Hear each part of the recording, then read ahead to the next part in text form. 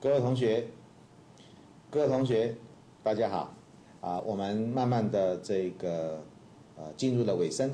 今天我来跟各位介绍的呢是，哎，第十三个单元，世界不是平的，后面有一个问号。那么这个题目呢，对某种呃呃某种程度来来讲，它其实就是在反省整个的世界。如果按照 Friedman 的说法，它是一个啊平的情况，那世界是平的，但是很多的情况却又发现到，我们今天可以看到，从国家自己的角度来看，一个国家内部的角度来看，好像不是这样，啊，那以大前研一的说法，叫做这个是这个社会啊啊，依照他观察日本的理解，日本已经变成了 M 型化的社会，诶。那是不是这样的 M 型化的社会可以通过这样的一个呃理解，去思考到像台湾、像美国、像其他的国家，啊有没有呃这样的一种可能性也能够适用啊？这个是所谓的世界不是平的一种理解啊。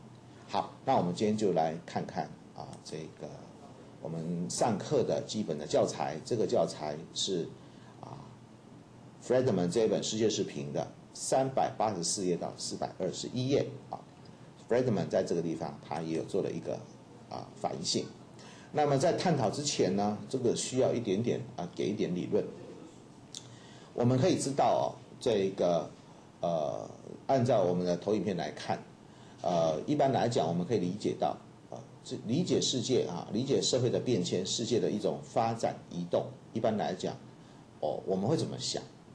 有人认为说，哦，这个这个历史的变迁其实已经是已经是固定的了，它是被决定了的。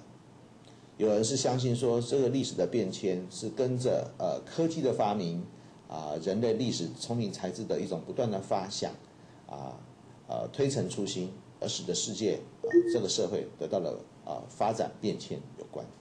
好。不管是第一种的叫做历史决定论，还是第二种的科技决定论，都有他们的支持者。我们现在就来看看这两个不同的呃主张。好，首先第一个，我们来看历史决定论。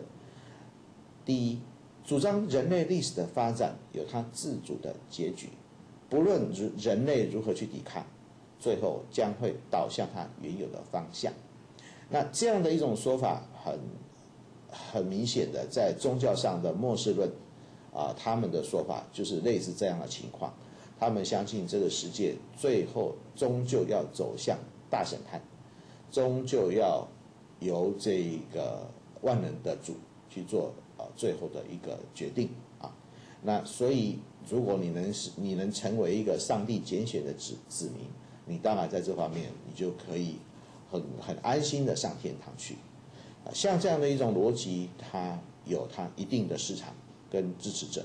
好，那么第二个，这个历史决定论他们的逻辑也是说，自古以来就有不少人去研究与解释历史发展啊，认为了解历史的发展趋势，就能够掌握未来的发展，也就知道什么样的趋势比较容易成功。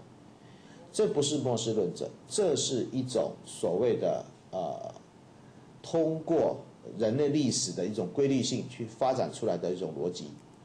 那么现代化论者就主张先进国家的发展，它这样的一种发展的一种经验可以成为发展中国家的一个借鉴。只要发展中国家愿意学习，按照已发展国家的脚步，亦步亦趋。那么日后也就可以成为发展国已发展的国家，好，这就是一种啊说法。那么在这样的情况之下呢，呃，我在这边要介绍一个人，这个人就是 Karl Popper。那么 Karl Popper 呢，在《开放社会及其敌人》这本书当中，他批评了柏拉图跟马克思有关他们历史主义的一个立场。他们特别是呃，Karl Popper 特别是针对了历史发展的必然性。然后忽视了每个人在社会演进的民主责任的贡献上面的一种忽略，那么提出了会导向极权主义的风险啊，还有这样的一种一种呃这个批评。那么在这个地方，我很快的提一下哈，柏拉图是怎么思考的？他的意思是说，人类最好的时代就是在人类原初社会，接下来呢会不断的折损，最后走向败亡。那么唯一的解药就是要找到哲学家帝王。由哲学家帝王带领大家、带领人民回到过去，才有办法让乌托邦可以实现。这是很标准的一种啊，这个柏拉图式的语言啊。他认为最好的那种美远美好的远景是在最远的过去啊，最遥远的过去，也就是人类的原初社会。那所以他相信越来只会越不好。那么越来越不好的情况之下，如何让它变好呢？这需要智者，就所谓的我们翻成哲王，啊，就哲学家帝王的帮忙来回到过去。好，那么这是柏拉图的一种说法。那因为柏拉图各位可能也都知道，他把人分为三类：金、金质、银质跟铜铁质。那哲学家帝王当然是金质多喽，好，没有错。这个以后我们有机会我们再来谈。那么马克思呢，他则是认为。啊，这个共产主义将将是人类发展的最后的目标，啊，那资本主义不过是共产主义在发产发起之前的必然产物，最后呢，共产主义会将它消灭，无产阶级身上的锁链会被解开，回扣到资产者身上。好，这是马克思的基本的论点啊。那么刚刚提到卡尔帕尔对他们的逻辑都不。深表不能赞同。好，那科技决定论呢的说法则是主张，科技来自于个人发展的轨迹，外部影响着人类，反之人类也影响着社会啊。那这里头，呃，马克思认为下层结构的发展会决定人类社会上层结构的发展，而且是呢，无法以个人的意志来转移的。所以让下层结构有所变动，主要则是来自生产力的改变。那么生产力改变，生产方式和生产关系也就会跟着去改变。那这个部分，我想同学你有初步的这样的体会和掌握就可以。因为他谈到的呃社会被分为上下两个结构，上层建筑跟下层建筑，不是上层结构跟下层结构。他的逻辑当中，马克思的看法就是相信下层结构的改变。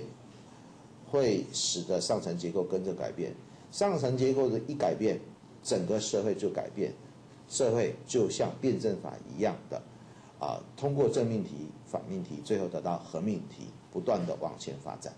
好，那么在三百八十六页到三百八十七页之间，我们可以来理解得到，就是说科技进步的变与不变的情况，这个是一个同学来讨论的题目。啊，就我们自身来讲，科技的进步能改变什么？啊，另外一个呢，是对自身来说，科呃这个呃应该这样讲啊，就是科技呃这个对自身来说，科技的进步不能改变的是什么？好，我们应该有这样的一个理解。好，那这刚刚那个题目可以提供同学呃小组讨论的一个依据。好那么最后我要跟各位来分享的就是说，Friedman 他在观察这他在他在世界的这个几个旅这个重要国家的旅行当中，他发现到让世界持续不平的问题到底是在哪里啊？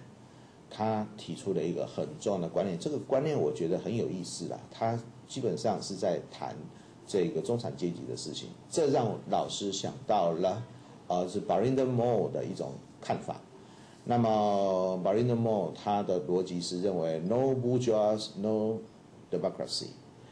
那么这个呃 Friedman 他在这个提出了，我不知道他们看过那本书，可是我觉得他引用了这个中国官员的说法，某种程度上来讲，也我自我的感觉啊，老师的感觉，我也认为说他或许也相信，他也认同 b a r i n d m o r e 呃的看法。那这个。呃，Friedman 他在三百八十七页的课本当中，他就提到，他说他同意一位中国官员的说法，，No b u r g e o i s no hope，啊，这句话很有意思。显然，这个中国官员相信富起来这件事情不能够只是一小群人富起来，应该是成为一个普遍的社会现象才对。所以，中产阶级的出现，啊，对这个中国官员而言是非常重要的事情。那么，可是有非常多国家没有办法产生足够数量的中产阶级。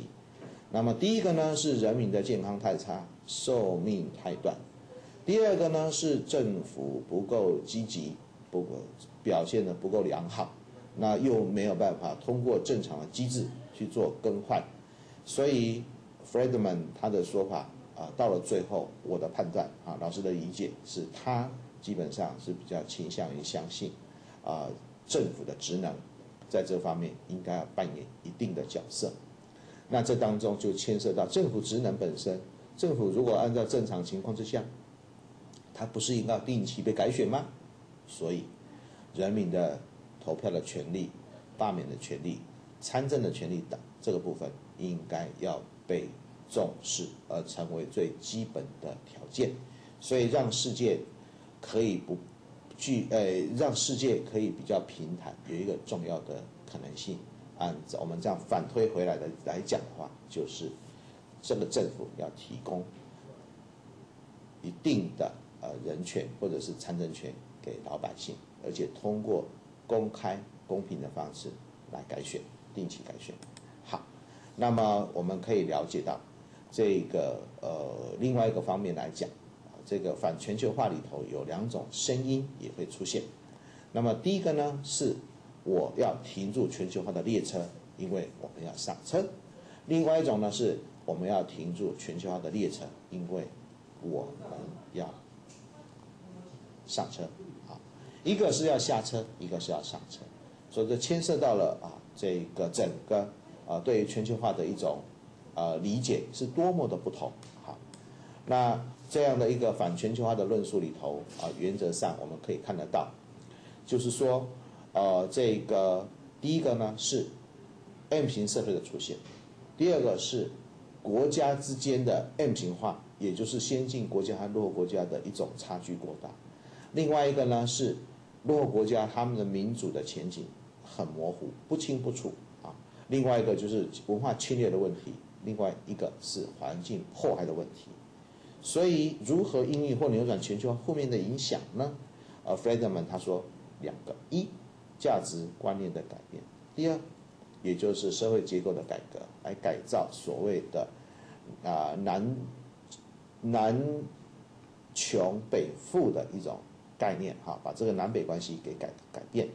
那么，这个 Friedman 他就总结来说，他说。反全球化运动的力量，一般来讲可以通过这几个来做理解。第一个呢，就是啊，中上层自由派啊，美国的中上层阶层自由派的一个啊一个反动的力量，他们主主要是在谈的都是所谓的道德性的议题。另外一个是老左派跟保护主义分子，他们把自己称为是第三世界的代言人，思考的是要不要全球化的一个议题。另外一个呢是，呃一种怀旧主义者，也就是抗议旧世界消失太快的这一群人。另外第四种是反美分子跟某种程度的伊斯兰世界，他思考的是为什么要全球化？为什么？以前的情况、以前的步调、以前的生活不是很好吗？为什么要改变？啊，所以他们讨论的是这个问题，他们要用他们的方式来过日子。另外第五个呢是环保联盟以及激进的非政府组织，他们的一种理解。好，他们是思考的是，我不反对你全球化，可是你应该怎么去全球化？那个手段是什么？不应该跟环保，不应该跟环境的保育来脱钩。他们是在重视这个问题。所以不同的呃团体对于全球化有不同的阴影或者是。啊，这个保持的他们的反对意见都不一样。好，这是我们所理解到的一个情况。因此，所以我们可以这样子说，Friedman 他就主张了，就是让世界持续不平的问题在哪里呢？啊，我们刚刚提了两点，就是第一个是人民的健康不够好，第二个是政府太难，职能的发挥太少了。第三个就是他刚刚谈到的反全球化那个那个问题当中的第五点，就是自然环境、自然资源的一种局限形成的一种啊反全球化的一种激进团体的一种情况。所以在 Friedman 来看，他认为未来环境永续与能源的一种呃这个叫做的议题呢，将是未来。最重要的议题之一，恐怕没有一个政府能够闪躲这个问题。好，今天我们就讲到这边，谢谢各位，啊，今天到这，拜拜。